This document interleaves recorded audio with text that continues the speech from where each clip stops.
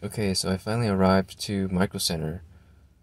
There was a lot of uh, glare from the sun on the way here because I drove over here during sunset, but it looks like the sun has completely, well, close to completely set now. As you can see in the distance, that's the Micro Center. So I decided to drive up a bit closer because I think it wouldn't be very uh, good for my equipment to have to wheel it all the way out across the parking lot. So I got back from Micro Center. I spent, I mean, hours there just checking out all the different hardware they have and trying to make sure I get the parts that are right for me and at the best price and everything. So um, I got everything I would need to build a computer except for the computer case. And that is because they don't seem to sell any micro ATX cases that have a 5.25 inch expansion bay for the optical drive. So my experience in Micro Center was was good. Um, it's like shopping anywhere except they sell pretty much all the hardware you would need to build from the most entry level PC that isn't even gaming to the best gaming PC there is. I mean, it's like if Newegg was a retail store, that would be it. It's a bit smaller than Fry's, but the fact that it, it is small, it feels a bit more welcoming and less intimidating to look around. Okay, so my goal was to build a decent entry-level PC that has all the features that I would need, maybe not want. A PC that I can later upgrade to something more advanced. And then I can take the old parts, like the graphics card, maybe the CPU, and take it to my old 10 year old gaming PC at in LA and make it more modern. So let's take a look at what we have. First, we have the GeForce GTX 1650 Super. This is a, a very good entry level graphics card and can, it can run any game assuming you turn down the settings and don't need uh, like 120 hertz for many of the newer games you know, it's not the latest graphics card like the RTX cards, so it doesn't have RTX broadcast or voice, DLSS, or ray tracing, but I don't really need all of that. So, next up we have a B550M chipset motherboard. So the difference between the B550 and the B450 is that the B550 has a PCI Express 4.0 X16 lane, whereas the B450 only has a PCI Express 3.0. So I got this motherboard specifically because it also has a PCI Express X4 lane, which can be used to add in, let's say, a capture card that requires this type of lane. While I was in Micro Center, I was looking at motherboards that had Wi-Fi, but I was told that the Wi-Fi on the motherboards won't be as good as this specific PCI Express Wi-Fi adapter.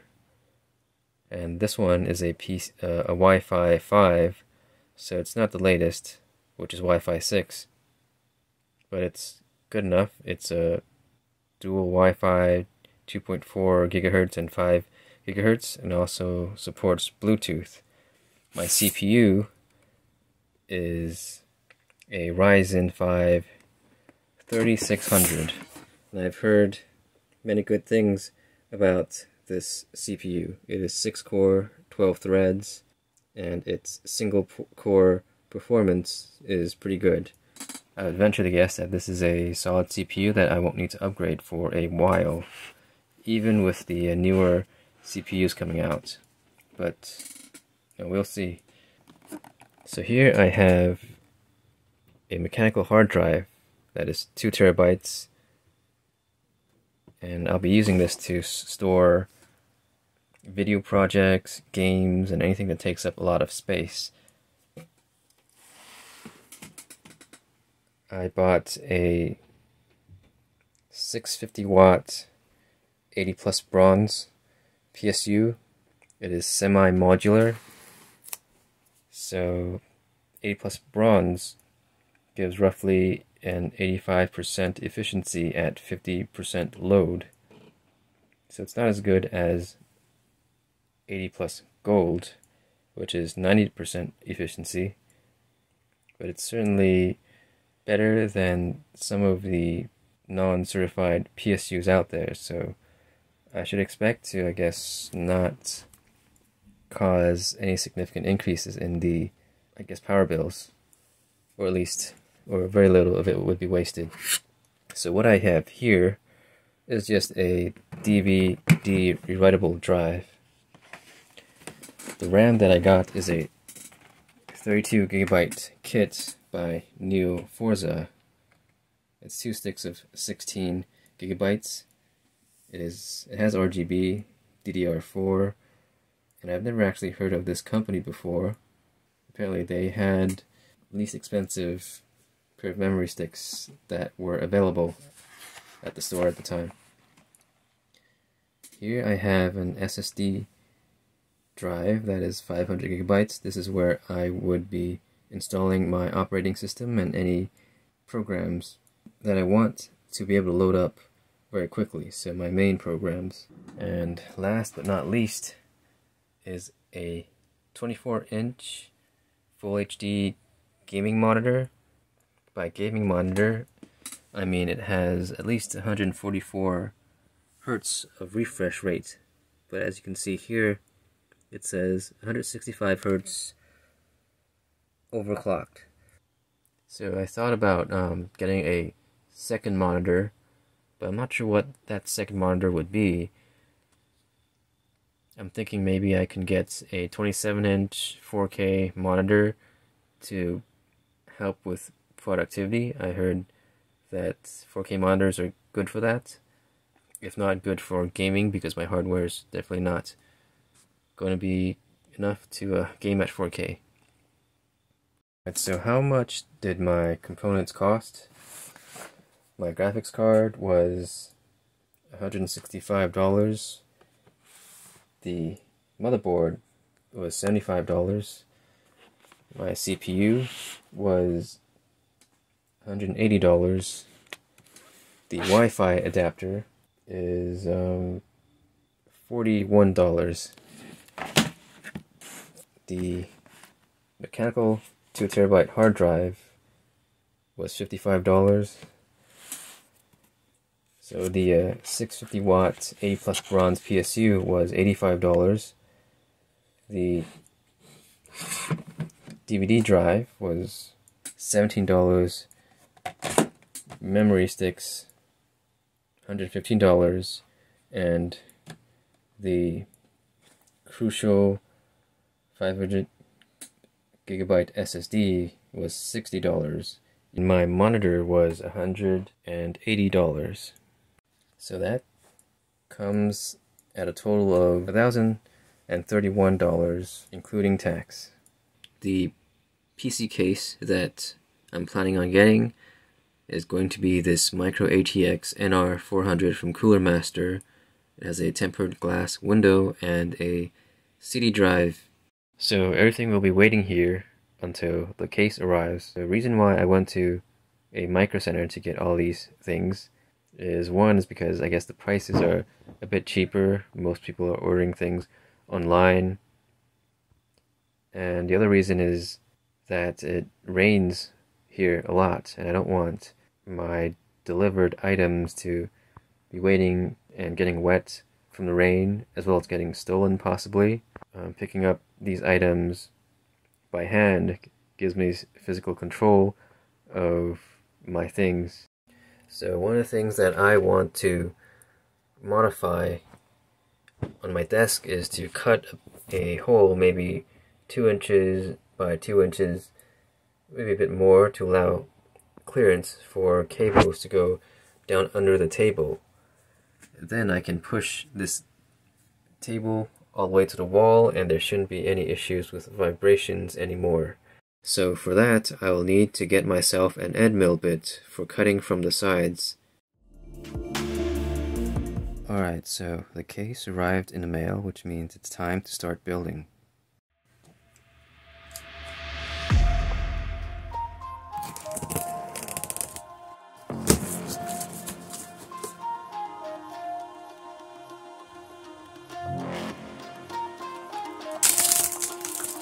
First thing to put on here would be the motherboard.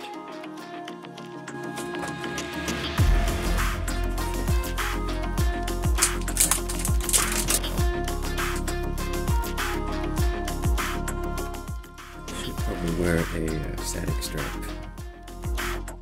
Okay, the uh, correct procedure would have been to install the power supply first, that way I have a ground to actually attach my static strap. So let me just gently settle this motherboard in here and then I'll place the PSU. Uh, I think I need to access the other side of the case in order to get my PSU in. I can't seem to find the screws for the motherboard. Okay, so it turns out the screws are located in the opposite side of the case in a bag like this.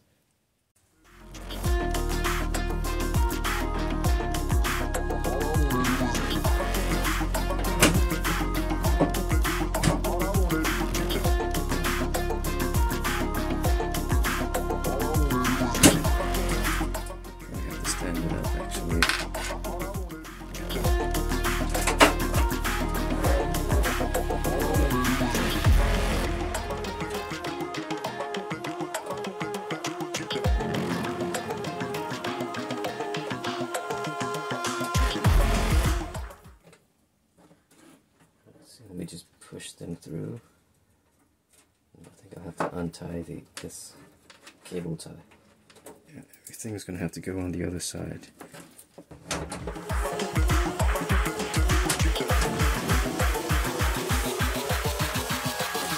All I wanted.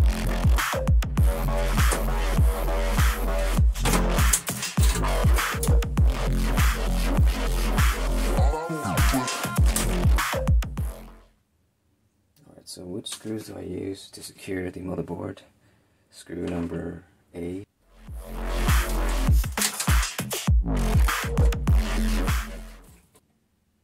Now the motherboard's in.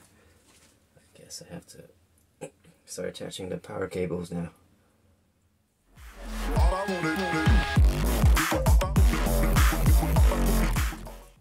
never seen this cable before.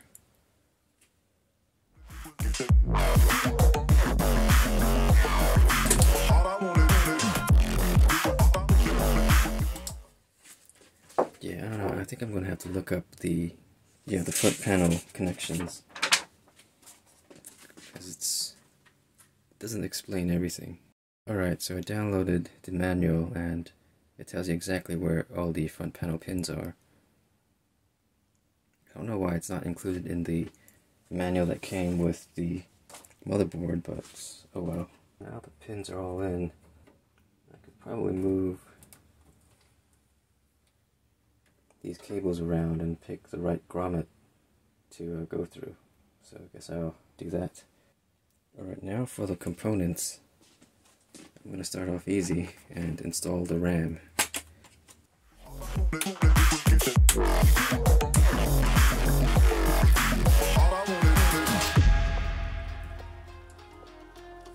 I guess I should install the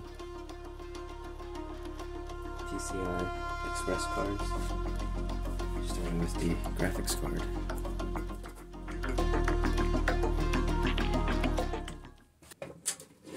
Now I'm worried that if I install this graphics card, there's not going to be any room for the PCI card below it for the network adapter. And it appears I was right. There's no room for the uh, PCIe Express card anymore. So I guess I'm gonna have to get a new motherboard, unfortunately. Well, I guess I'll have to get back to this uh, once I have this sorted out. Well, I figure that while I'm here, I could probably install the hard drives and the CD drive.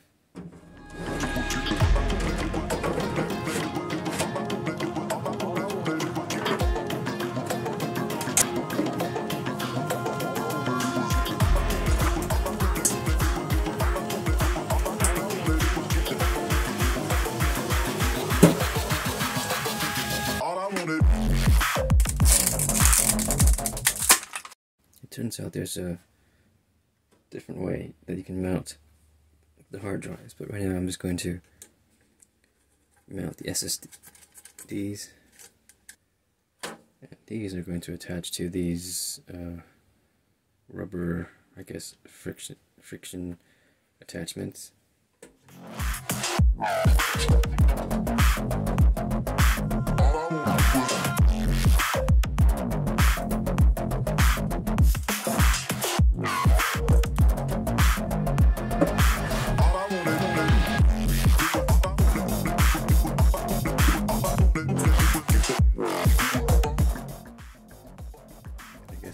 Guess that's really it. Until uh, I get a new motherboard that actually gives you room to install a two slot graphics card and a PCI Express X1 component.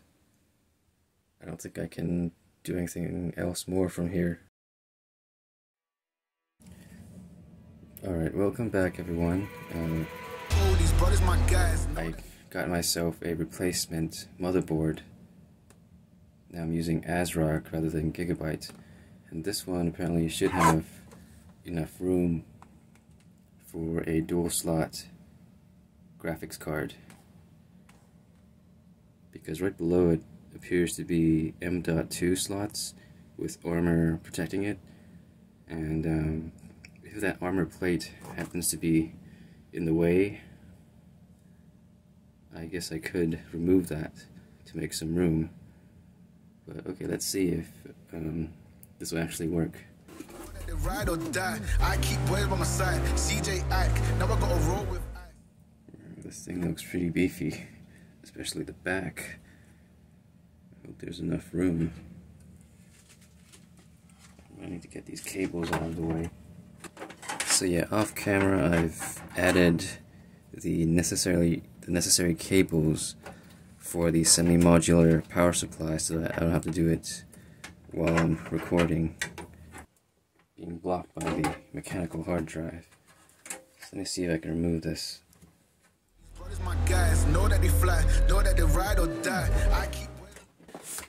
Okay, so now I need to grab the screws for the motherboard. So a neat way to organize your screws while you're working on a computer, I found, was using coffee filters. They're like 25 cents for a pack of 100. They're really cheap.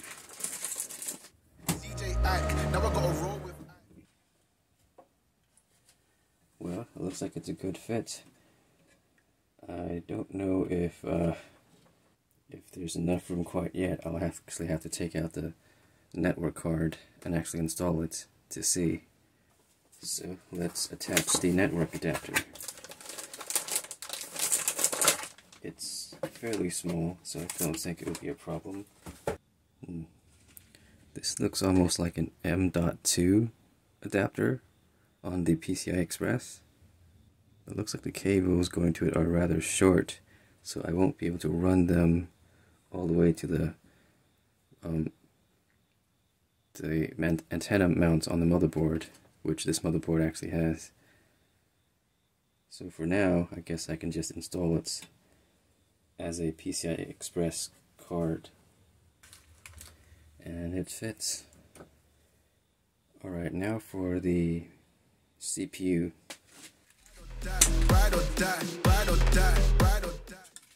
So I think this gold uh, corner here with an arrow that's marked, it goes on the upper left. When viewed from, well, my perspective, not the camera's perspective. And it fits. so for now I'm just going to use the stock heatsink and fan. I don't plan on overclocking it because that will void the warranty.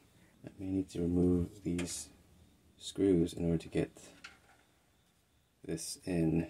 I don't know if I should have installed this on the motherboard before before putting in, it in the case.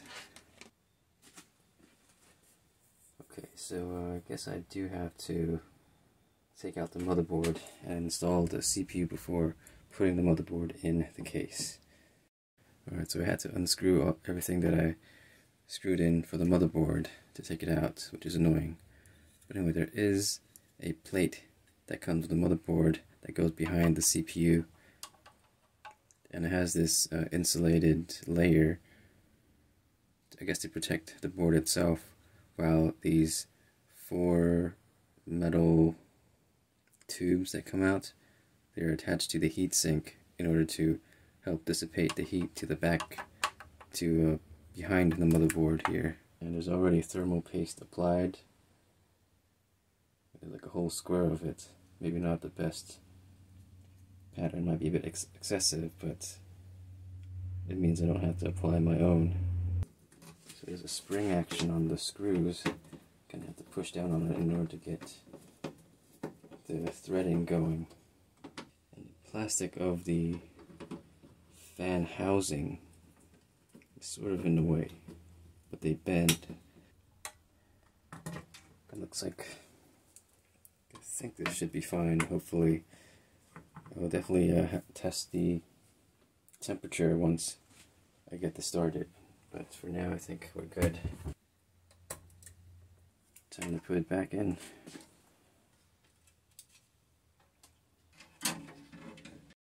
Okay, so according to the manual, I should install them first in channels or in slots A2 and B2. Those are the ones that are compatible with 3200 megahertz. The other two, A1 and B1, go, only go up to 29, 33 or something like that. I don't know why it's designed like that, but, but I only have two memory sticks anyway and so I probably won't have to worry about the other two slots unless I decide to upgrade to more than 32 gigs, which I don't see the need for anytime soon. Now we should put back the hard drives.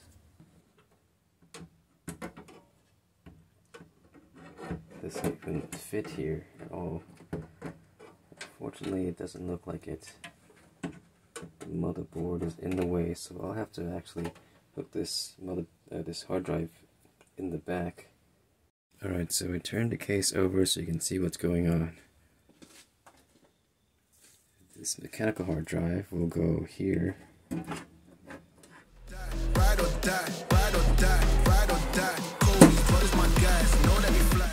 And this SSD drive will go here. Now I gotta ride or die.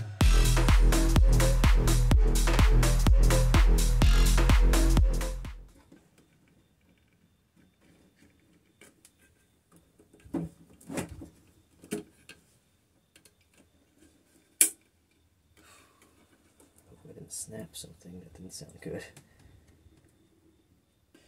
I don't like how loose it feels here.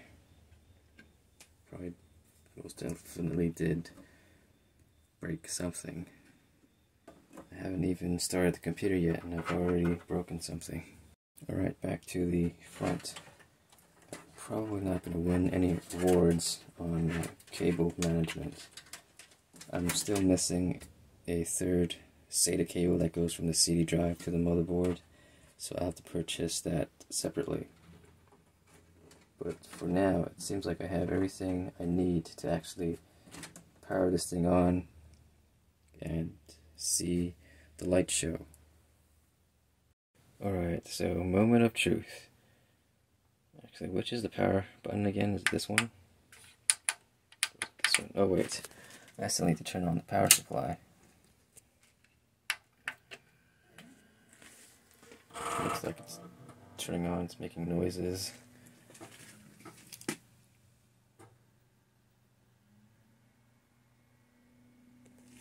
Hmm, it looks pretty good. Uh, one of the memory sticks is not lighting up. Is it even seated? It looks like it's out a bit. The vac fan isn't running. And neither is the front fan. But the CPU is definitely running. And the fan for the graphics card is running. So something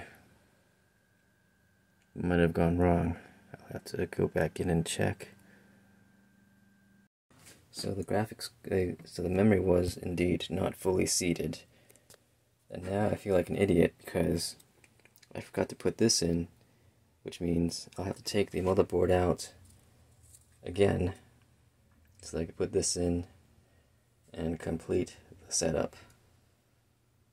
So yeah, I don't know how I could have made that mistake, but somehow I did. I thought you can put this in at the end, but you have to go from the inside. So, yeah, there's that. So I decided to reorganize the cables so that things are more organized in the front, but that comes at a cost of everything being um, disorganized and chaotic in the back. But we're going to cover that anyway, so you won't be able to see it. Alright, so now the inside looks a lot nicer. I can't seem to find the jumper pins for resetting the BIOS though. I don't know if there's like a reset button. But yeah, I'm not too worried about that right now. Alright, so let's try this again.